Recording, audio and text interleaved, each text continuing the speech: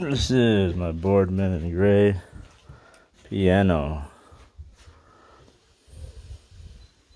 Just needs a little bit of tuning.